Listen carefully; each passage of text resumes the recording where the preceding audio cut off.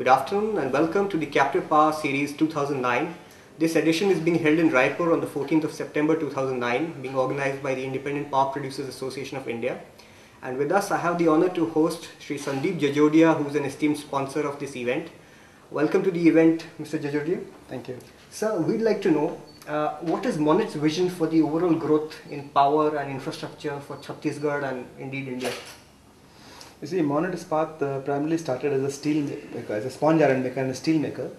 Over the years, we realized that you know steel has uh, this cyclical uh, nature of business, and uh, it usually piggybacks on the commodity cycle.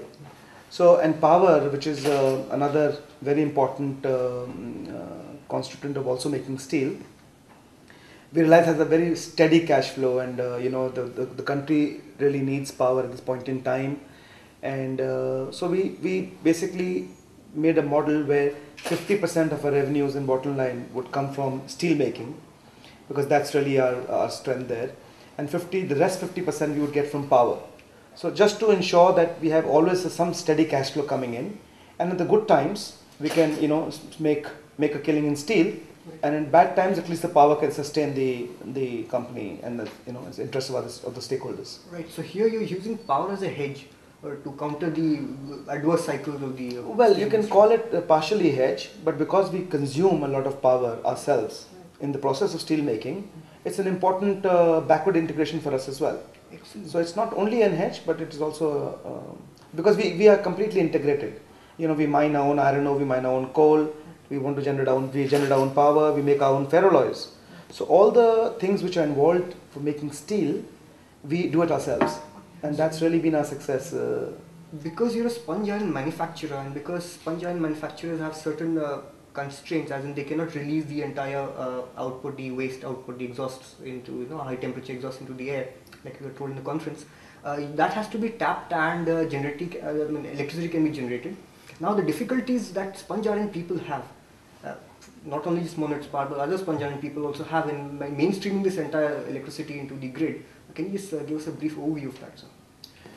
You see, we don't really have that problem, but in generally as a sponge iron industry, uh, all the sponge iron, uh, they, we, they, they have a lot of gas which comes out of the process.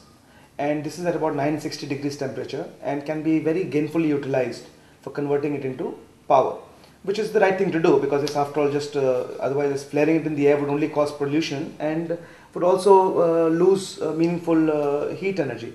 So most sponge people do generate waste heat recovery. they put waste heat recovery boilers and they do generate power.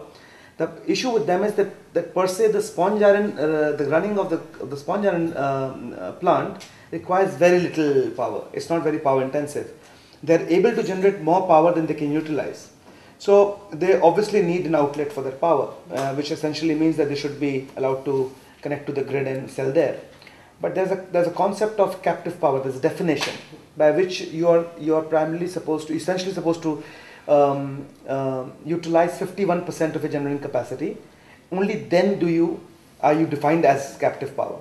That's where the problem they face because they don't they cannot consume 51%. They can only consume what 25 30% of the power they generate. So there's a big dilemma as to what should they be? They should, they should be called a captive power plant or should they be called an independent power plant? So that, that you know, from state to state, different states are treating them differently right now. And I think uh, with your platform, we are trying to pass on that message that some, um, uh, you know, uh, level kind of some some regulation should be made for this because these are actual problems they face. If they don't generate power, the, the environment uh, uh, department will not allow them to operate. If they do generate power, they don't know what to do with the power. So then, so this is a it's a very very genuine problem which they're facing right now. Caught between the devil and the deep absolutely, sea, as absolutely, I could say. Absolutely. so in that case, uh, um, Chhattisgarh, given the fact that it is uh, seen to be more liberal and more uh, access friendly than other states, yet there are problems. For example, the uh, you are not allowed to inject power into uh, you know a certain specification or below certain specification grid line. Now, if that grid line is 100 kilometers uh, from the captive power unit, the captive power unit will have to, at great expense, set up a high voltage line to connect to that place 100 kilometers away. What is the way out over here, son? What is the problem really all about? You know, this, uh, I don't blame the government for this because, uh, after all, um, depending on how much power they are First of all, the, the industry is asking the government to give open access, which means that they don't want to sell to the state, they want to sell outside the state. On the other hand, they expect the state to build the grid for them. I mean, that's, that's not really fair. I mean, I think um, if, the, if it's commercially viable for that company to uh, actually set up a power plant, he should, he should keep that uh, distance uh, of uh, transmission lines as a part of the project cost. And only then decide and only take a call if that is, uh, you know, he should build the power plant at all or not. Great. I don't think that's uh, wrong in the state. However, there have been some restrictions uh, for uh, were some restrictions to to allow open access on 33 kV lines. Right. But now that Chhattisgarh has already allowed that as well. So, Finally, we'd like to know, sir, uh, given the fact that suppose you are bringing in new investments into the state and you're setting up uh, new power plants and new steel uh, production capacities and other production capacities. Mhm. Now, again, because you cannot possibly match them to start scheduled production on the same date, how do you propose to, for example, if your power plant has come up uh, a year in advance, how do you propose to ensure that your power is sold and you can uh, gainfully make uh, some kind of return on that till the time your steel production plant is set up? What is the way out? you see, that's a problem right now we are facing. That there is bound to be a mismatch between the installation of the captive power plant and uh, the end use plant.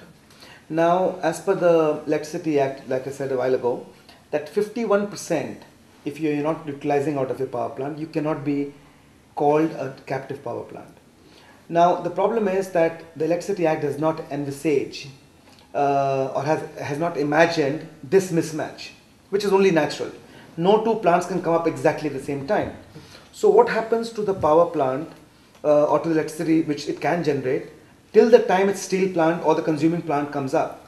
For that period, obviously, they cannot consume 51%, and as per the act, they will not be called a captive power plant.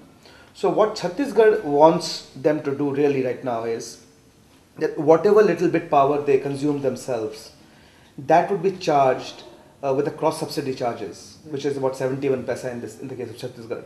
So uh, at the moment, uh, government does not say the Chhattisgarh government does not say that you, you can't sell that power. You can sell that power, but they don't uh, designate you as a captive power plant. They designate you as, a, as an IPP. So and, and and therefore they charge you the cross subsidy for all the power you utilize and allows you to sell the balance, which I think is not that correct. Which is which I think is not so fair, because you can't be hopping in and hopping out of this uh, um, de- uh, this uh, definition of captive power. You can't be a non-captive power for six months and then your steel plant comes up and then you become a captive power and suddenly something goes wrong with the steel plant after two years of operation and it shuts down for six months or five months or whatever else or maybe for economic reasons it's not viable to run the steel plant anymore. So you start selling power, you suddenly become again not a not a captive power plant. So there's a little anomaly there. I think that the government should recognize.